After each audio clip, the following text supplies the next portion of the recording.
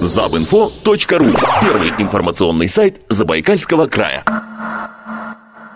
В выставочном центре Забайкальский открылась четвертая международная православная выставка-ярмарка «От покаяния к воскресению России», в которой принимают участие православные монастыри, храмы и подворья. В этой выставке принимают участие различные э, храмы, монастыри, не только те, которые расположены в разных регионах нашей Российской Федерации, но и за рубежом. Здесь представлены э, монастыри и храмы из Украины, Белоруссии, Молдовы, из различных российских регионов – они привезли сюда свои святыни, привезли э, какую-то информацию о том, как православная жизнь развивается в тех местах, где они находятся. Все те, кто участвует э, в выставке, имеют благословение своих правящих архиереев, и они, соответственно, получили приглашение для того, чтобы приехать сюда, в город Читу, и принять участие в этой уже традиционной для нас православной выставке и ярмарке. По словам представителя храма Покрова Пресвятой Богородицы из Рязанской области, на выставку-ярмарку они привезли редкую икону «Праворучница». Многим людям эта икона помогла завести ребенка, обрести покой в семье.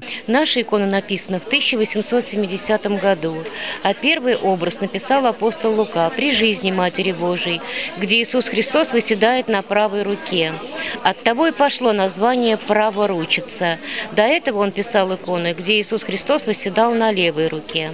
Также на выставке представлены святыни с горы Афон, освященные на мощах святого Симеона Тремифунского. Представляем монастырь Кутлумуш, греческий монастырь Кутлумуш, в составе которого, в составе греческой братья, есть наша русская братья. Им выделена отдельная келья, так называемая, можно так сказать, маленький монастырь внутри большого монастыря. Вот это для них, для наших русских братьев. Тут э, у них там сильная очень молитва, у них по византийскому э, уставу, то есть у них время византийское, они, э, служба идет приблизительно 8 часов, если не праздничная. Литургия ночная, в 2 часа начинается.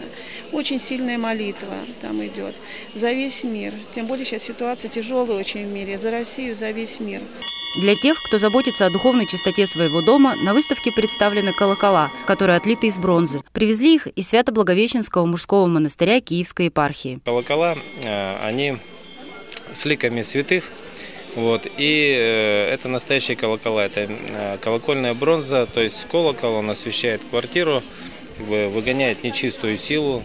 Вот, э, колокол предназначен для того, чтобы как бы, освещать квартиру. А они отливаются по технологии 16 века прямо в земле и шлифуются вручную. Их можно по наследству передавать, он не ржавеет. В состав экспозиции также входят иконы Божьей Матери «Неупиваемая чаша», святого мученика Уара, святой блаженной Матроны Московской, святой великомученицы Екатерины. Сейчас в нашем монастыре 6 схемонахинь, 52 монахини. Читают неусыпаемый псалтырь. Это круглый, э, круглосуточно помощь и защита. Также в нашем монастыре читают полуношницу. Это с вымаливанием грехов. Каждый день это с 6 до 7 идет молеб, э, служба. Читают также в нашем монастыре э, молебны, литургии. На выставочной площадке на стенде московского книжного издательства «Сибирская благозвонница» можно приобрести книги духовного содержания. Помимо этого, на выставке большой выбор лечебных трав, масел и церковной утвари. Также в ознаменовании празднования памяти святого князя Александра Невского 12 сентября от Казанского кафедрального собора до выставочного центра «Забайкальский» прошел крестный ход с иконами, который завершился молебном. Отметим, что выставка-ярмарка продлится до 16 сентября. Александра Леонтьева, Анна Хвостова специально для Забанфору.